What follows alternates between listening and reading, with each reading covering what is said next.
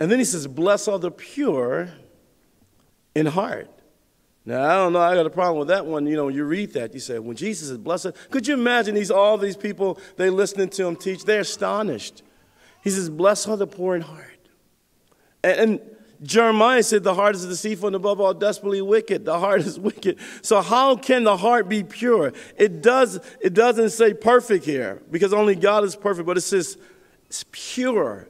Is the word katharos. We get the word cathar, you know, to be catharized, katharos in the Greek, and, and it means without admixture you know, or without, you know, uh, what is separated or purged or made clean. Something because it's unmixed. There's nothing mixed in. Blessed are the pure in heart, the person who knows that they're not worthy. That's the pure hearted person. They know, like, I'm not worthy. They know their own spiritual condition and they're mourning over their own spiritual poverty. They don't have anything. Look, the purest thing that any man or woman can do is to admit that they are not pure. That's the purest thing that anybody can do in this room is to admit that you're not pure.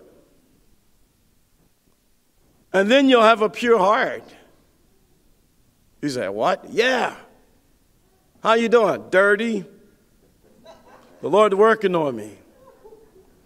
You know, I was riding down this morning and Corey pulled up beside me. He said, Man, you better slow down, buddy. I was weaving between cars, you know. Woo! And he, I'm eating, you know, cashews. I'm chewing. I like, I'm late. You know, some good example I am, huh? It says, Bless all the pure in heart because if you know your own sinfulness and you know your own state, that's what God can meet you at. That's where He can meet you at. Say, Lord, I know, I'm, look, I know I'm, I'm, I'm a wretch undone. Lord, help me. I don't want to live like that.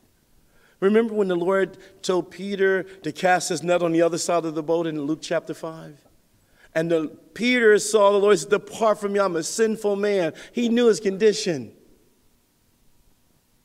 He knew his condition. Look, you here today don't look. A pure heart is somebody that recognizes that they're not pure. They say, Lord, work on me, help me, Lord. And their intentions are good. They can come to the Lord and say, Lord, I'm not, I don't want to live a sinful life. I have a pure, I don't want to live like that.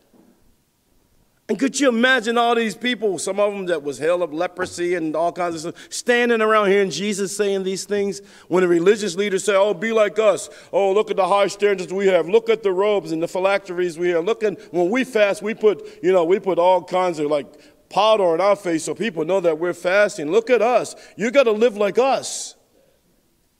And Jesus said, no, you don't.